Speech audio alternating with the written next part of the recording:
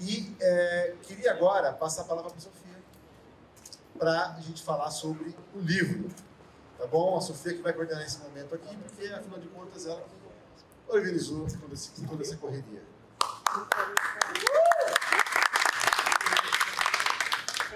Oi, gente. Boa tarde. É, eu queria agradecer todo mundo que colou aqui, agradecer Everson, a galera do Slam Guilhermina, agradecer também Rose, Serginho, Fernando, o pessoal da equipe da Fundação que está aqui, e chamar aqui comigo a Belle Damasceno, que é da Iniciativa Negra por uma Nova Política de Drogas, e que dividiu comigo a coordenação dessa pesquisa, a Juliana Farias também, que é pesquisadora e trampou junto com a gente, e agora é professora lá na, na na UERJ. e chamar vocês, vem pra cá já. Chamar a Fernanda Cucho também, nossa parceira do PT, que veio aqui somar junto com a gente. E a Antônia, também companheira do PT, que vai somar aqui na discussão junto com a gente. Oi?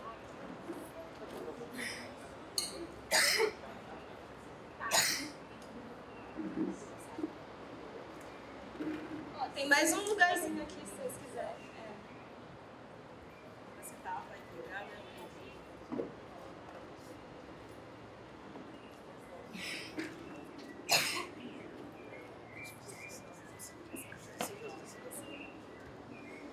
É, gente, é, eu queria agradecer vocês por estarem aqui, porque eu sei que esse não é um assunto muito agradável, né? Por mais que esteja presente na nossa vida e no nosso cotidiano nas nossas relações, realmente é, exige uma disposição da nossa parte se reunir para conversar sobre assuntos tão tensos, né? É parte da tentativa que a gente fez de amenizar um pouco, para chamar a galera do Islã para colar aqui, os artistas também, para a gente entender que periferia não é só violência, né? A gente também tem muita potência, tem muita arte, muita cultura. É, então eu queria começar agradecendo vocês por estarem aqui hoje, por terem se disposto a vir até aqui. É, esse trabalho eu vou começar apresentando um pouco, depois eu vou passar para as minhas parceiras aqui, para Fernanda e Antônia comentarem também. Mas, basicamente, a gente começou essa pesquisa que chama Chacinas e Politização das Mortes no Brasil em 2018, com um levantamento de notícias de jornal é, que é feito pelo Juan Bernardo, que deve estar correndo aí, fazendo alguma. e agradecer muito ele, porque hoje em dia quem toca esse mapeamento é ele.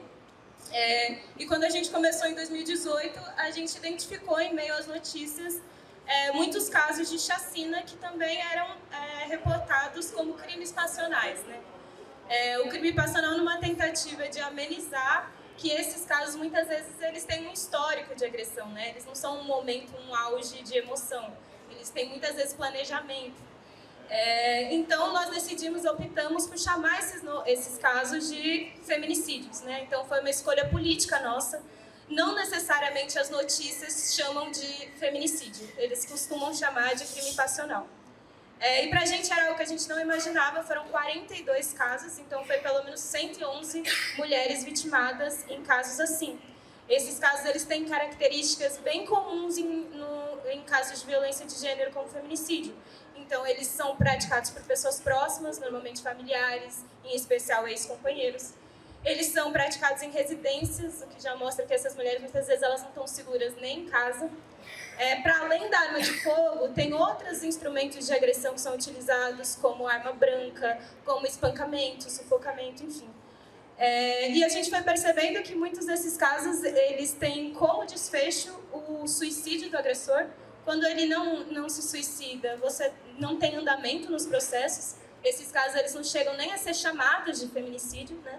Então, um dos casos que a gente estuda aqui no caderno, que é da chacina de Campinas, foi um pouco isso. Então, é um caso que foi três gerações da mesma família vitimada, e quando ele vai a público, ele vai como crime passional.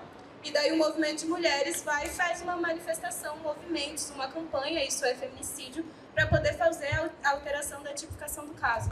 Então, é, tem essa discussão sobre o próprio uso do, da tipificação feminicídio, então tem essa categoria penal, mas ela não é utilizada. E quando ela é utilizada, né? Em relação a quais vítimas? Daí a gente começou a perceber que tinham vários outros casos, daí tem mais de 400 mulheres que foram vitimadas em chacinas por outros conflitos. então em contextos de conflito agrário, de disputa por terra entre grupos armados, é, em operações policiais, em abordagens policiais, e esses casos eles também carregam traços do feminicídio. Então essas mulheres ao serem executadas, elas são xingadas. Esses casos eles carregam muito o, o abuso sexual, a desmoralização, a calúnia, é, a humilhação, então a gravação e depois a repercussão do vídeo dessas mulheres. Então, mesmo esses casos que eles acontecem em outras dinâmicas e que acontecem em quais territórios? Em territórios periféricos. E se a gente pensar a periferia para além só do espaço urbano da cidade. Né? Então, pensando que, é, é, que a gente tem esse, é, esse contexto diverso né, de periferias e que a atuação do Estado nessas periferias é uma atuação violenta, é, você tem essas mulheres morrendo em chacinas por outros conflitos, por policiamento, conflito agrário, mas que ainda assim a forma como elas são executadas carrega traços de misoginia.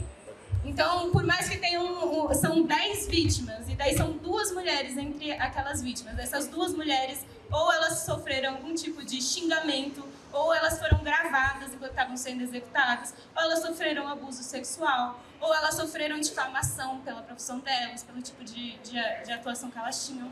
Então, para a gente, uma das coisas que chamou a atenção é esse alargamento da noção de feminicídio para além só das violências que acontecem no âmbito doméstico ou familiar.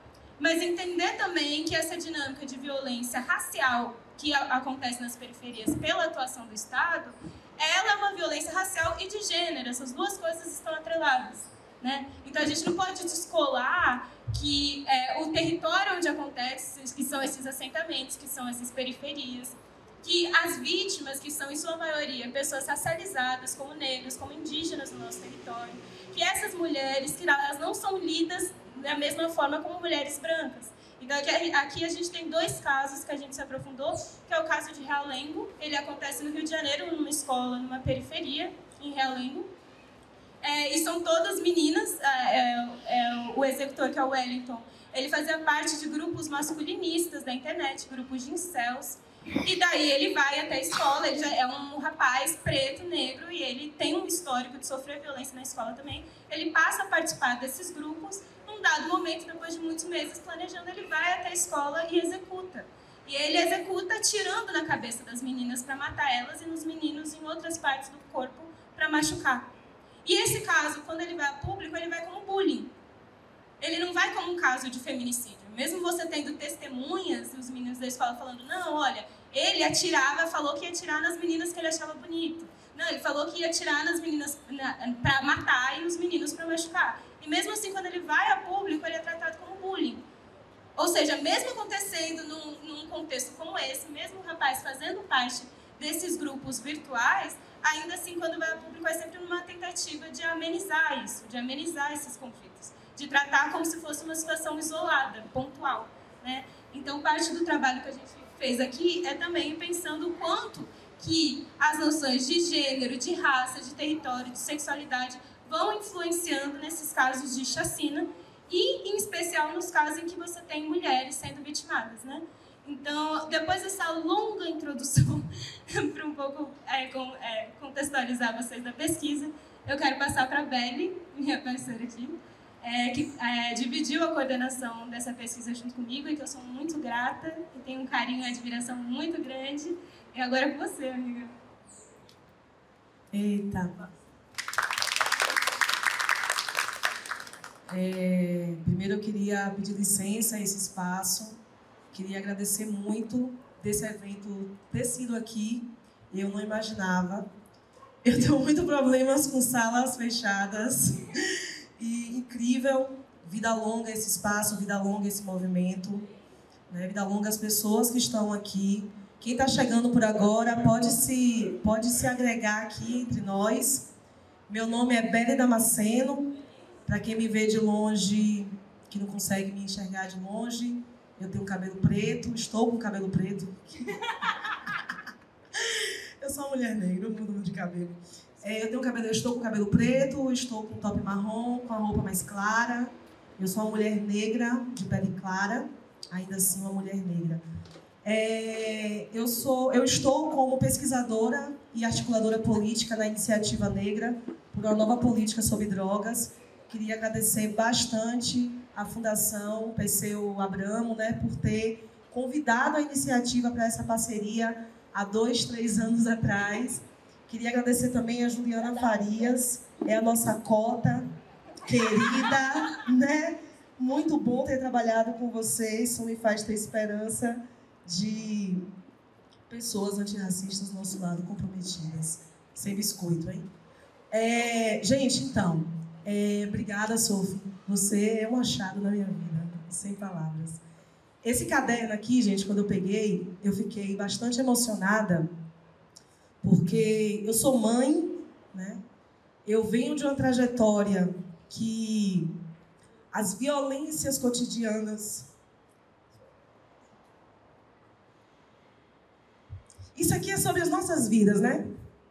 Isso aqui não é a prova da UFBA que, que eu fiz, né? Da Universidade Federal. Isso aqui é, é a gente não escreveu por escrever. Isso aqui é, é bom a gente falar dos processos, né?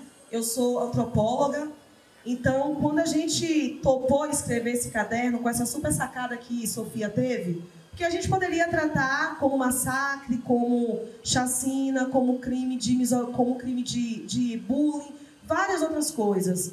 Mas aí Sofia um dia parou e falou assim: opa, isso aqui é sobre feminicídio. E a gente abraçou e tem total sentido. Só que quando a gente fala de feminicídio, o feminicídio ele é o que aconteceu, né? Já é o final do que aconteceu. Já é onde não se tem mais como respirar quem já se foi. Eita, uma zoadinha aí. É um drone, é? Você está atrapalhando o drone. Vai-te embora. É, quando a gente fala de feminicídio, a morte, já é o que está consumado, já é o que está aconteceu, né? já é o que aconteceu. Mas existe um processo de morte em vida para determinadas mulheres, para determinadas populações, em determinados territórios, que a morte ela vai sendo dada em, em doses homeopáticas, né? Mas não para curar, para chegar no final que é matar mesmo. E quando eu voltei de novo lendo este livro que a gente já tinha é, é, escrito, me veio muito uma palavra em minha cabeça que é sobre justiça reprodutiva. Né? É, hoje eu trabalho com política de drogas e a gente elaborou uma pesquisa também falando sobre desmantelamento de famílias negras. Mas, velho, o que isso tem a ver com feminicídio? Isso tem a ver com feminicídio porque hoje no Brasil, para cada quatro mulheres assassinadas, três delas são negras. Né? E negras, que eu digo, são mulheres que entram também na, na categoria de mulheres quilombolas, mulheres indígenas, mulheres ribeirinhas. Né? São mulheres que estão fora desse padrão e que a vida deve ser conservada. Né? É, Milton Santos, meu Deus, o Abdi, a cidadania mutilada, Milton Santos, né? ele traz algo muito interessante que é dizendo assim, a branquitude não tem direitos, a população branca não tem direito, ela tem privilégios. Né? Porque ser cidadão é você ter direito. A população branca tem privilégios, porque já passou da lógica de se ter direito. Né? E a população negra não é cidadão porque nem o direito alcança, não tem o direito de alcançar, nem o direito de viver. Né? E aí, quando a gente traz para o cenário da necropolítica, eu costumo dizer algo que é assim: a necropolítica, ela não diz somente quem deve morrer, ela diz que não deve nem nascer e nem chegar a determinadas idades. O caso de Realengo, por exemplo, são crianças, adolescentes de 12 a 15 anos. 10 eram meninas. A gente pesquisou, mas a gente não encontrou a cor dessas meninas. Mas eu fui procurar quem era a mãe dessas meninas, quem era o pai dessas meninas. O território não necessariamente estudava lá, mas vinham de outros territórios para estudar. Eu deduzo, e não posso dizer que é certeza, porque a gente não tem isso, que a maioria eram de meninas não brancas, eram de meninas negras, o que não justifica também a morte de nenhuma menina, de nenhum menino, seja branco, seja negro, não justifica. Mas o Brasil tem uma prática que é de três coisas: não permitir nascer e não permitir morrer. Né? A justiça reprodutiva vem muito nesse caminho, né? Não é só sobre o direito de parir. Que esse direito as mulheres negras também não têm. A gente torce para a legalização do aborto porque nós somos as principais a morrer. A legalização do aborto para a gente é uma questão de continuarmos vivas. Mas a gente não chegou nem no direito de parir. Eu fiz uma pesquisa lá em 2018 que entre 10 mulheres né, que participou dessa pesquisa, 10 delas que abortaram, nenhuma me disseram assim, eu abortei porque meu corpo, as minhas regras. Elas disseram assim, eu abortei porque eu era espancada, eu abortei porque o meu companheiro morreu com 12 tiros na porta de minha casa, eu abortei porque na semana que eu estava indo fazer o pré-natal, eu fui presa porque me confundiram. Ou seja, o que, é que eu quero dizer com isso? Quando a gente chega nesse caderno aqui, uma série de violências que legitimam o feminicídio é naturalizado em nossa sociedade. O caminho para o feminicídio, a gente pode, né? A sociedade, né? Nós, né? É, indignamos acerca disso, mas o processo de matança, o processo de feminicídio, ele vem ali, dia após dia dia quando a mulher ela não consegue um emprego, né? Porque ela é negra, ela não consegue um emprego porque ela tem filhos para criar e diz assim, nossa, tá grávida? Vai ter que ser demitida. Ganha. Se o homem branco ele ganha quatro vezes mais do que uma mulher negra, a mulher negra ela ganha ainda menos do que um homem negro e menos ainda do que uma mulher branca que ganha ainda mais do que um homem negro. O que é que eu quero dizer com isso? que a falta de condições objetivas para se viver, a falta de condições objetivas para acionar o Estado com políticas de vida e não políticas de morte, já está traçando esse caminho para isso que quando chega na palavra feminicídio, a gente acha um absurdo. Né? A gente acha um absurdo. Então, eu, eu, eu, eu costumo trazer muito a questão da justiça reprodutiva porque eu paro e pergunto assim: essas mulheres que morreram, elas eram filhas, elas eram mães. Então, isso é sobre justiça reprodutiva. É quando a mãe tem que enterrar a sua filha, é quando a filha tem que enterrar a mãe, e isso configura o genocídio, o desmantelamento, não só das pessoas que foram vitimadas e se foram, esse luto que no dia seguinte, a mãe, é, inclusive, de uma das meninas de Realengo, foi que fundou né, a Associação Anjos de Realengo. Porque tem uma passagemzinha dela que, é, que, é, é, que ela diz assim, ó, eu não tive como ter o luto, porque no dia seguinte era luta. Né? Então, se hoje nós temos uma grande verba né, pública do SUS indo para mulheres que estão com pressão alta. O índice de, o, o índice de suicídio entre mulheres vulnerabilizadas, entre mulheres negras, só tem aumentado. Ou seja, o Estado é também responsável por isso aqui. Eu não estou tirando a culpa né, dos feminicidas que fizeram isso aqui. Mas nós tivemos um governo há um tempo atrás, que não precisa dizer o nome do dito cujo, que foi um grande incentivo à morte de mulheres. Se não morre, prende. Se não prende, fica em casa também, morre de depressão. Né? Então, a gente, eu espero, Paulo, que consigamos um dia, não sei, fazer a avaliação e continuar dando seguimento a alguns dados que a gente tem aqui, que a gente não pode destrinchá-los de fato, mas a gente não tem noção dos custos de fato disso que a gente traz aqui. Né? Porque a gente não sabe como estão essas famílias. A gente não sabe nem se conseguiram muito. Ah, a avó de não sei quem morreu depois de seis meses. Faz parte desse feminicídio. Se as mulheres da família e se os homens também, porque essas mulheres têm pais, essas mulheres têm filhos, essas mulheres que morreram têm uma família. Né? Então, a gente tem hoje uma série de políticas é, públicas que contribuem para esse, esse feminicídio. Uma delas é a atual política de drogas.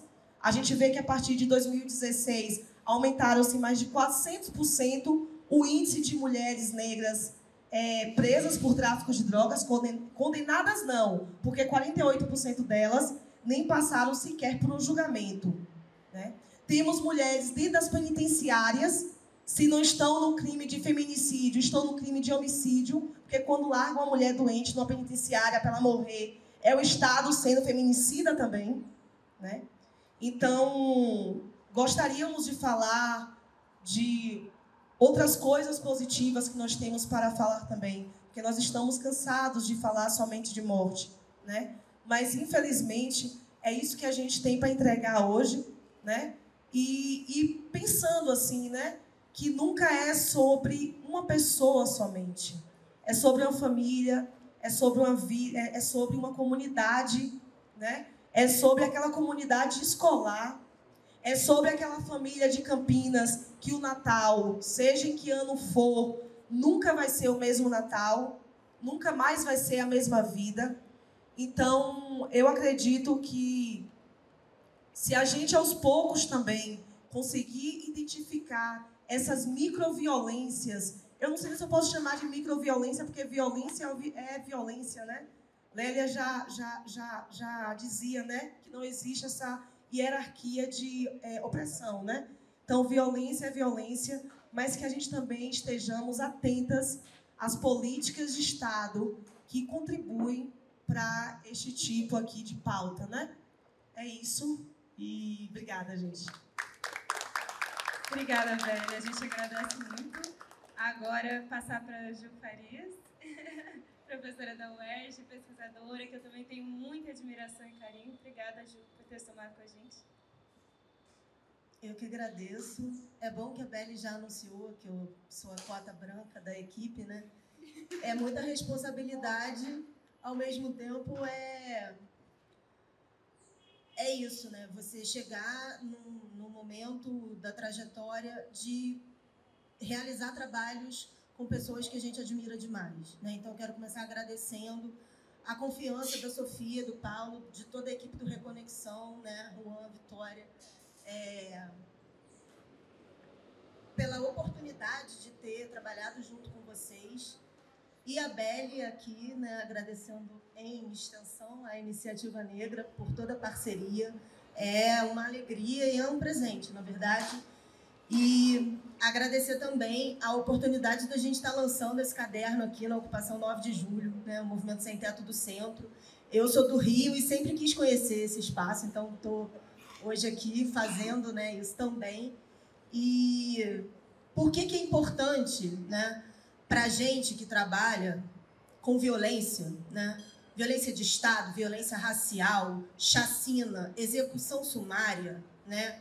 Por que, que é importante conseguir trabalhar com pessoas que estão atentas ao fato de que não adianta a gente continuar discutindo violência com um foco em apenas um tipo de crime ou em suportes que são abstratos, que são teóricos. Né? E aí eu estou falando aqui de um lugar né, da universidade, da academia, da universidade pública.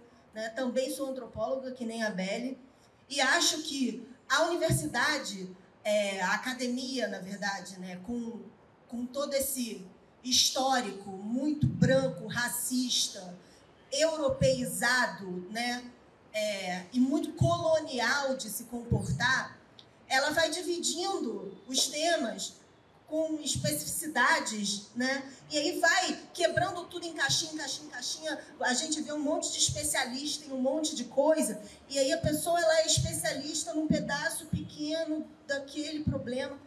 E aí tudo vai se separando e a gente não enxerga a complexidade das situações, como elas acontecem, né?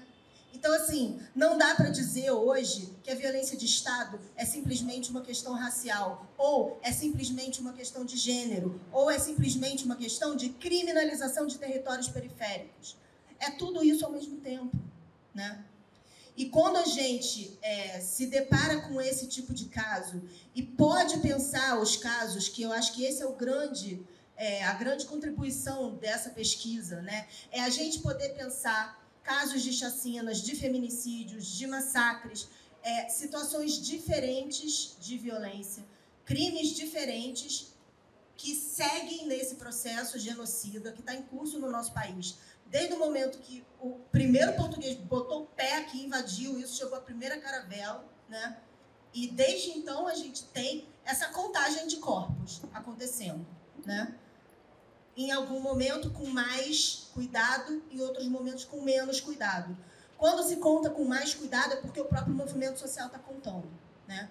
Então é muito importante quando a BL traz aqui a figura, né, do movimento de mães de vítimas, né, que é um movimento também responsável por esses crimes estarem hoje sendo denunciados com mais seriedade, com mais responsabilidade da sociedade civil, né? E aí, eu não vou me alongar tanto, né? Mas uma outra coisa que eu quero destacar é que é importante demais quando a gente consegue concretizar num projeto de pesquisa, né? E aí o Reconexão Periferias é, foi um espaço assim de, de ter a certeza de poder trazer o debate com as palavras que ele precisa ser trazido. Né? A gente não tem mais como falar de execução sumária, de violência, com meias palavras, né? amenizando o assunto. Hoje a gente tem é, uma série de situações. A Sofia falou dos números, né? Eu nunca decoro os números, mas são sempre muito gigantescos. Mas a gente tem uma questão que está colocada de forma muito contundente, que é a conexão entre a violência de Estado e as violências de gênero, a misoginia, a LGBTfobia, o capacitismo. O racismo é, assim, algo que é inescapável nesse debate. Mas se a gente não pensar de forma interseccional essas marcações, os marcadores sociais da diferença, as categorias de diferenciação, enfim, como se quer dizer, né? Mas é muito complicado a gente hoje olhar para um tipo de situação como essa e desconsiderar, porque enquanto os homens jovens negros configuram o maior número de pessoas que são mortas pelo Estado brasileiro, as mulheres ou estão chorando e levando a luta à frente, sem direito ao luto, como a Belle falou, ou elas, na mesma chacina, foram estupradas e sobreviveram, ou elas foram torturadas dentro do caveirão. E isso não pode ser considerado menor, porque não vai ter chacina se não tiver invasão de casa. E quando tem invasão de casa, em geral, quem é xingada e violentada dentro da casa é uma mulher, porque os homens são executados, né? E aí, discutir feminicídio nesse cenário é olhar justamente para quando essas mulheres também são elas mesmas assassinadas. Né? E tem uma coisa, um elemento né, que não é um detalhe, e aí eu vou usar o exemplo da chacina de Campinas, né, que o, o algoz, né, quando ele se mata, como Sofia falou, isso é muito recorrente, né? depois que ele executou todas as pessoas, ele mesmo atirou na própria cabeça. Ele deixa uma carta.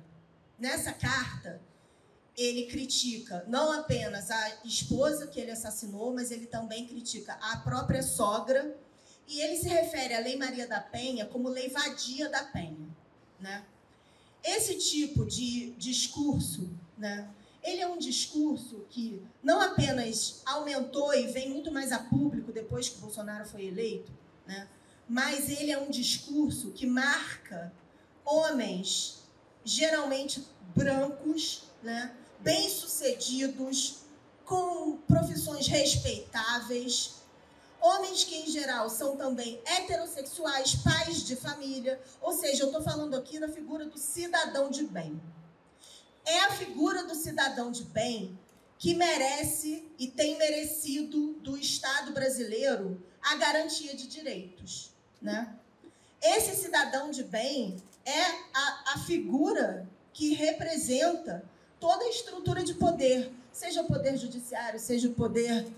É, enfim, eu estou falando aqui de um problema né, que precisa ser visto a partir de um olhar também de quem enxerga que tudo que o Estado vê como fora do lugar é possível de ser criminalizado e precisa ser eliminado, né? Assim se criminaliza a favela, a periferia, a aldeia indígena, o quilombo, né? Tudo que o Estado olha e não entende, ele também vai querer controlar. Ele também vai precisar atuar de forma violenta, civilizatória. E a forma civilizatória é sempre violenta, né? Então, trazer aqui para essa conversa a figura do cidadão de bem é fazer uma contraposição desse cidadão de bem, sempre branco, heterossexual, é, essa figura né, do, do pai de família da, da propaganda da margarina, né, que a gente é, é obrigada a ver até hoje na televisão. Né? Porque esse é o corpo que vai ser protegido. O corpo da mulher foi visto por muito tempo e eu estou falando tanto mulheres brancas indígenas quanto mulheres negras, ele foi visto como um corpo a reproduzir força de trabalho, né? Gerar, botar no mundo. O que acontece, né? Hoje, a gente sabe que a mulher que gera pessoas indesejáveis, e aí eu estou especificando, né, são os corpos negros indígenas que vão gerar essa vida ou vão adotar, criar, alimentar, fazer crescer essa vida negra, essa vida indígena, essa vida quilombola, essa vida que não deveria nem ter nascido, como a Beli falou, né? O corpo dessa mulher, ele também vai ser visto pelo Estado como um corpo que precisa ser eliminado. E esse olhar, essa lógica bélica, ela se cola com esse olhar misógino de um algoz que fala da Lei Maria da Penha como a Lei Vadia da Penha, uma lei que não deveria existir. Não tem que existir uma lei para garantir os direitos das mulheres, nesse quesito, especialmente. Né? Então, é, poder hoje fazer essa discussão aqui é trazer também esse assunto à tona, né? é poder escutar a Belle falando de justiça reprodutiva, né? Eu acho que as nossas companheiras aqui que aceitaram o convite para debater é, têm um aporte também muito importante para dar a partir da política institucional, da política partidária, né? de situações também de extrema misoginia que a gente sabe que acontecem e que também respeitam, obedecem essa lógica de Estado que é racista e que também é misógina, né? E que também é LGBTfóbica. Então, enfim, é para ser uma conversa, eu queria agradecer é, e passo a palavra. Então. Fernanda primeiro. Obrigada, Ju, agradeço. É, bom, agora a gente vai ouvir a Fernanda Curti, que é militante feminista, antirracista também, foi vereadora em Guarulhos, né? Fernanda, a gente está esperando para o. Gente, primeiro, boa noite a vocês. É, uma boa noite especial, tanto a Sofia, quanto a Belle, quanto a Juliana. Boa noite também especial para a Toninha, minha companheira de partido, que junto comigo carrega essa árdua tarefa, que é organizar as mulheres do PT, aqui na capital e no estado. É, para quem não me conhece, eu sou a Fernanda Curti, tenho 29 anos de idade. Fui vereadora na cidade de Guarulhos, na verdade sou uma vereadora caçada, nessa onda de violência política de gênero, de cassação contra os mandatos de mulheres jovens, negras, LBTs no estado de São Paulo. Meu, foi o primeiro caso no estado, foi a primeira a perder o mandato. É, sou da cidade de Guarulhos, sigo militante das lutas sociais na, na minha cidade e estou aí cumprindo essa tarefa no PT aqui no estado. Aliás, daqui a pouco estamos com outra pré-candidata nossa, que nós fizemos uma inversão, sabia? Só comentar rapidamente com vocês. Foi, começou a ser construída uma tese de que nós mulheres, para estar tá na política, só podia se fosse no legislativo. Aqui pode. Aí depois só podia como vice. Agora nós estamos falando, nós queremos é conduzir as cidades, nós queremos ter prefeitas. Então, estamos estimulando o maior número de mulheres para disputar a prefeitura nas cidades, né? Enfim, mas eu fiquei muito feliz com esse convite. Primeiro, porque o trabalho de vocês é essencial num nível não razoável. Viu? A gente conseguiu organizar essas informações, produzir conhecimento, acumula na luta e faz a gente conseguir debater em outros patamares. E tudo que vocês colocaram aí, eu quero compartilhar com vocês as histórias que a gente acaba lidando lá na cidade. Nós temos dois casos que eu quero compartilhar que dialogam com o que vocês colocaram, principalmente do ponto de vista da construção do feminicídio, né? Não é algo que dá da noite para o dia, ele é construído. Primeiro caso é que uma das atuações que eu tenho na cidade, para além da minha atuação de dirigente partidária, mas enquanto liderança política no território, é o acolhimento de mulheres vítimas de violência, seja ela qual for. Nessa última semana, final de semana passado, eu acolhi duas mulheres que foram espancadas no final de semana. Né? É, e aí tivemos que aguardar chegar segunda-feira, porque a delegacia da mulher estava fechada. Né? Aqui no, no, estado de São Paulo, a delegacia, é, a de Guarulhos, não funciona 24 horas, como a maioria das delegacias no estado. Quando eu chego na delegacia com essas duas mulheres, já tinham várias outras ali numa situação né, de, de fragilidade mesmo, né? E aguardando, aguardando, aguardando. Eu decidi, como a gente tinha que aguardar muito tempo, eu decidi sair 15 minutos, Claudinho, para poder fazer uma outra conversa. E quando eu voltasse, daria conta de ajudar as mulheres, né? Quando eu voltei, a maior parte delas, inclusive uma das que eu estava acompanhando, que foi espancada na rua pelo ex-marido, saiu com a orientação que era para ela ir no fórum atrás de informação de uma outra medida protetiva que ela teve em 2022, que precisava ver aquela, então eles não iam conseguir registrar o boletim de ocorrência para ela. E assim com outras mulheres que também estavam lá aguardando muito tempo, falar, ó, volta amanhã, vê isso depois, enfim. Bom, chegamos lá e falou, olha, teve um crime novo, eu só saio daqui com esse boletim de ocorrência registrado.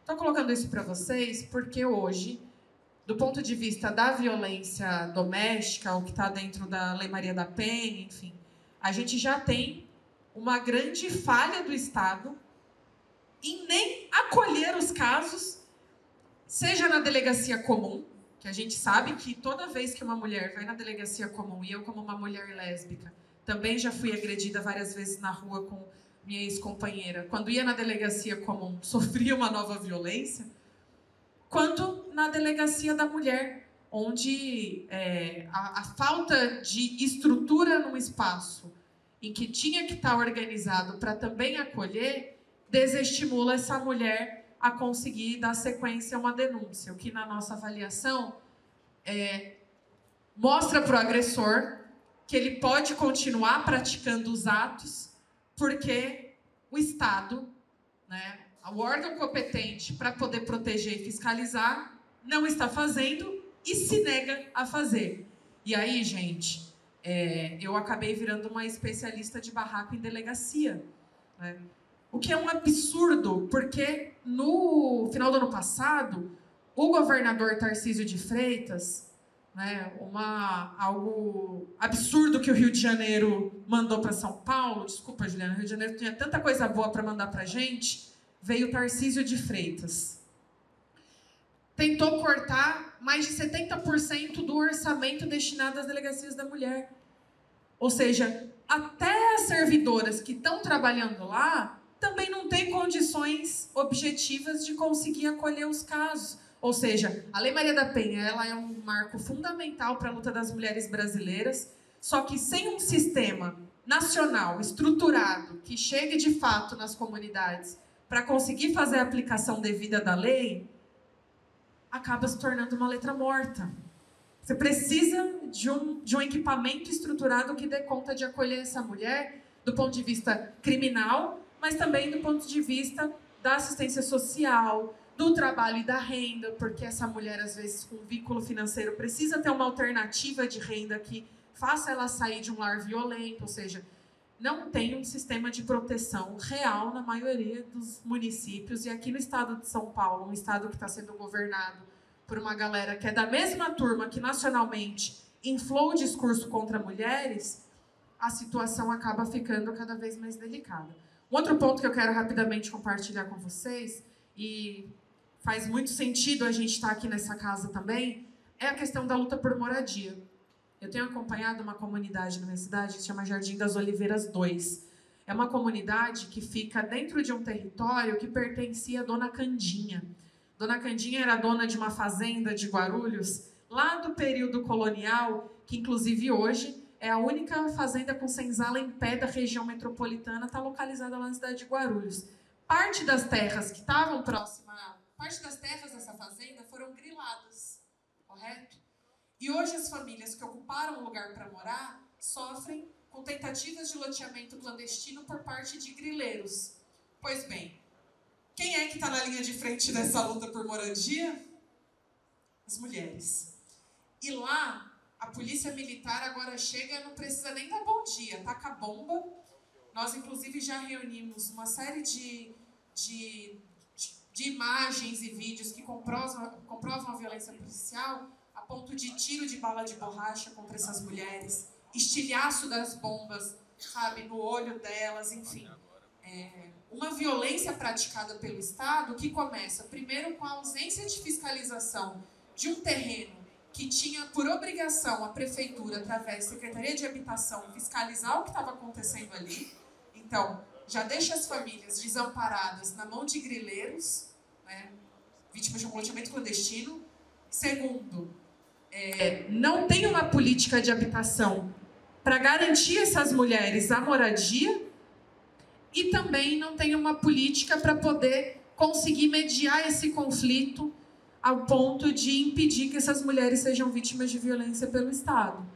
Então, é, eu, eu acabo ficando um pouco aqui é, engatilhada, porque parte do que vocês colocaram agora é o que nós estamos vivendo no dia a dia com essas mulheres, seja quando a gente acompanha numa delegacia e não consegue proceder com a denúncia, porque o próprio Estado diz que, olha, não vai, tá tudo certo, e acaba dando ao agressor mais é, ele se sente mais confortável em praticar, e aí quando começa no empurrão, né, não denuncia, certamente vai chegar o crime de feminicídio, algo que poderia ter sido evitado se tivesse política de fato, quanto na ausência de políticas essenciais, como é a questão da moradia, e que a maioria das famílias são chefiadas por mulheres, a maioria das famílias são chefiadas por mulheres negras, e essas famílias estão dentro dos territórios periféricos. Então, para concluir, é, essa é uma, é uma produção que relata qual é a realidade da periferia brasileira e que não dá mais para a gente tratar como algo que vê depois.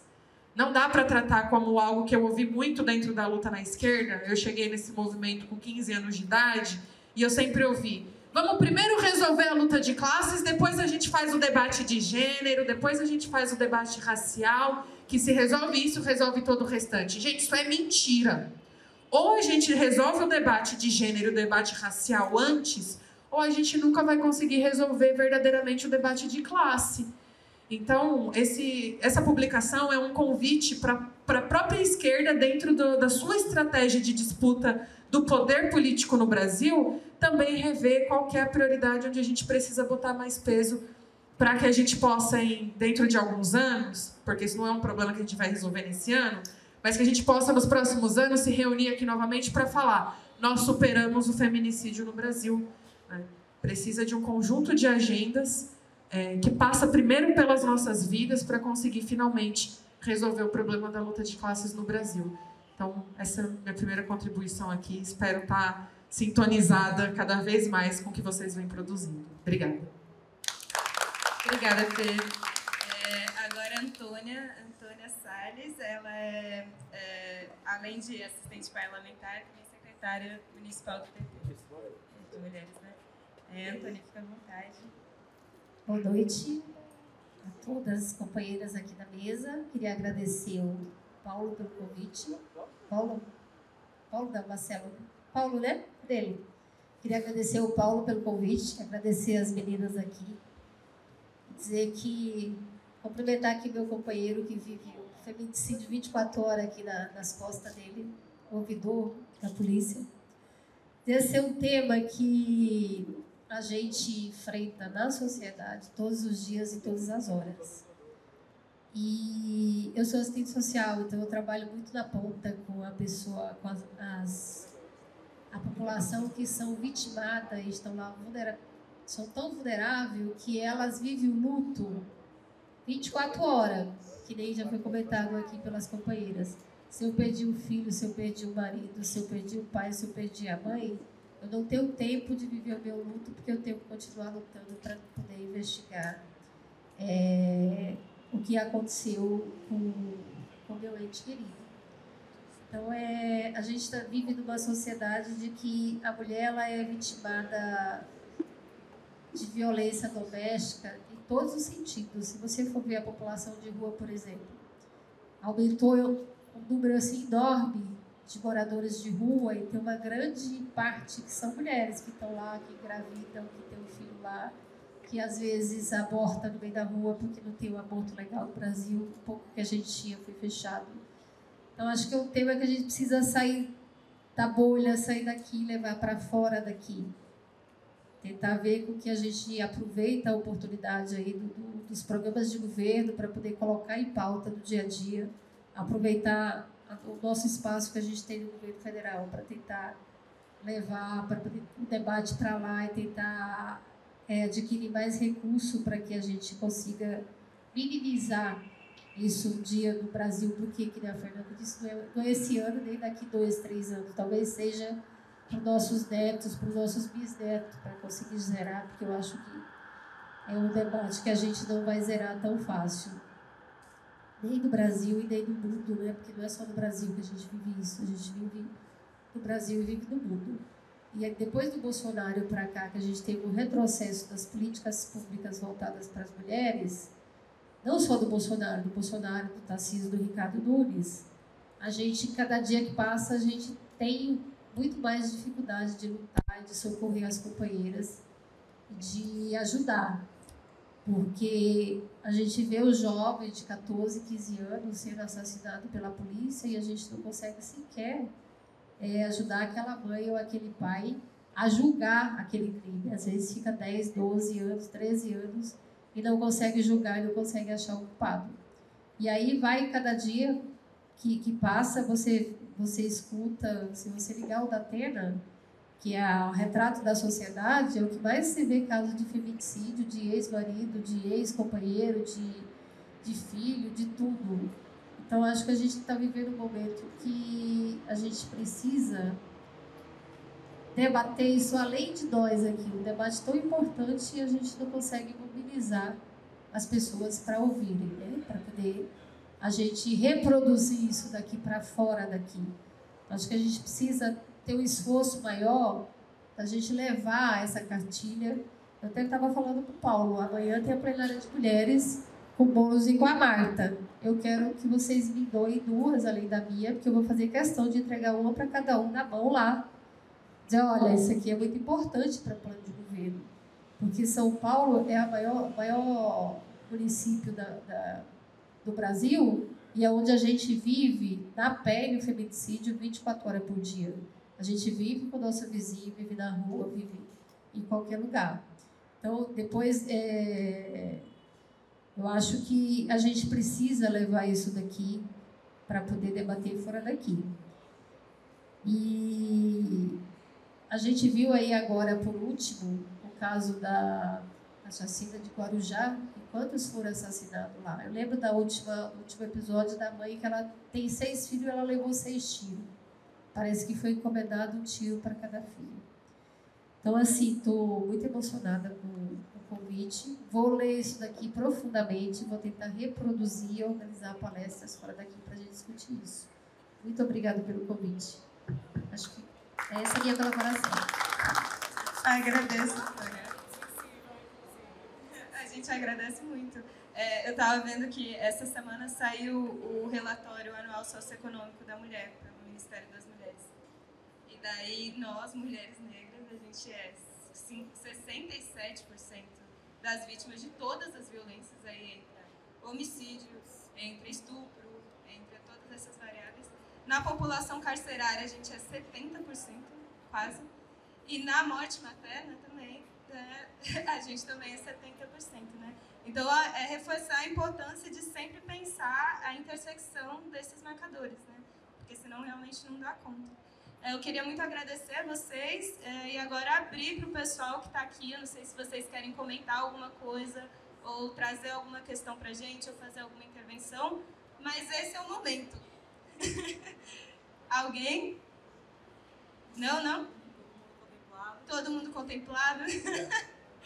então é isso, gente. A gente agradece muito. Agradeço muito a Antônia, Ju, que veio lá do Rio para ver a gente aqui, Belle, é, Fernanda.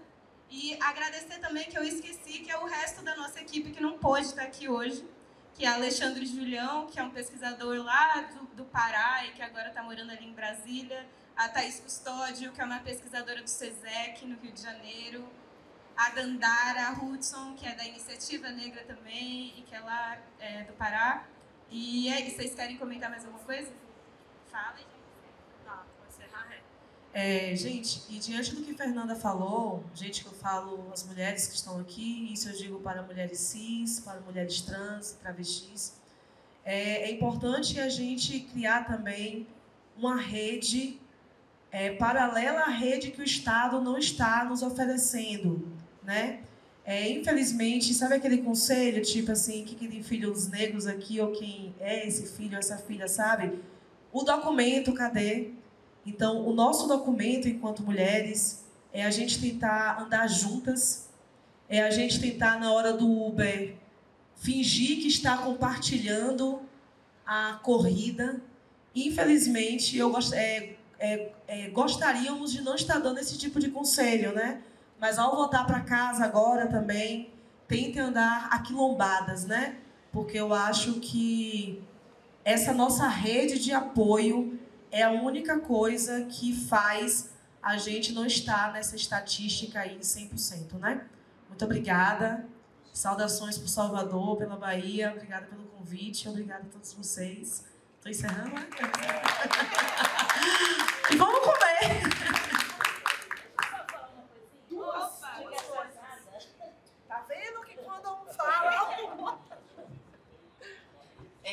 Pedindo desculpa, nós chegamos atrasados porque nós erramos o caminho.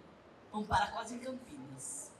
É, porque nós estamos errando, errando e o Enzo mandando a gente para ir.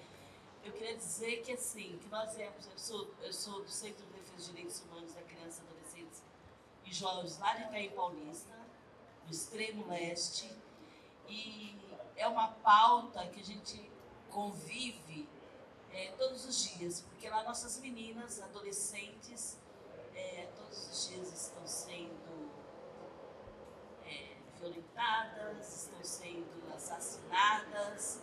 E como a gente atende também as famílias, a gente todo dia com essa questão mesmo da violência, em todos os sentidos. Né? Então a gente não podia deixar de vir e vir é, fazer parte desse grupo, que a gente tem que se juntar mesmo. Principalmente a gente que fica lá na ponta, tudo, eu falo que tudo que é política pública, que é pior, vai pra gente.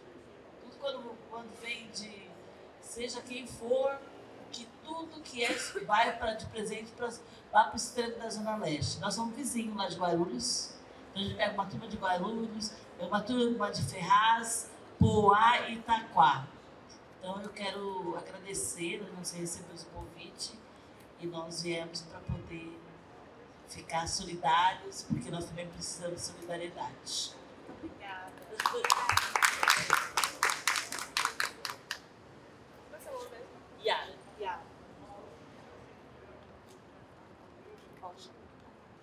Oi, boa noite. É, na verdade, eu só queria aproveitar o ensejo para fazer um convite é, quem tiver na disposição, agora na defensoria, é, às 7 horas, acho que 7, 7 e meia, vai estar começando um debate lá também do pessoal da Rede de Proteção contra o Genocídio sobre violência de Estado e letalidade policial.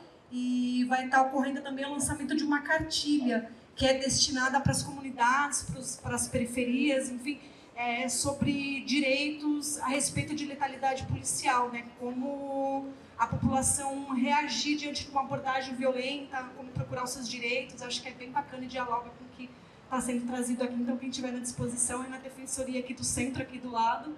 Então, é isso, na verdade, é um convite. Obrigada. Lembrando que agora faz parte do CONDEP, nós A aposta só saiu ontem. Parabéns, a gente. Bom, gente, é isso. A gente fica por aqui. Eu espero que tenha sido uma discussão enriquecedora para vocês, como foi para a gente. É, o Instagram é Reconexão Periferias FPA. A gente tem também o site da Fundação Perseu Abrão, que tem o painel de dados. E é isso, né? De divulgação social media é basicamente isso. E agradeço todo mundo, obrigada. E é nóis, gente.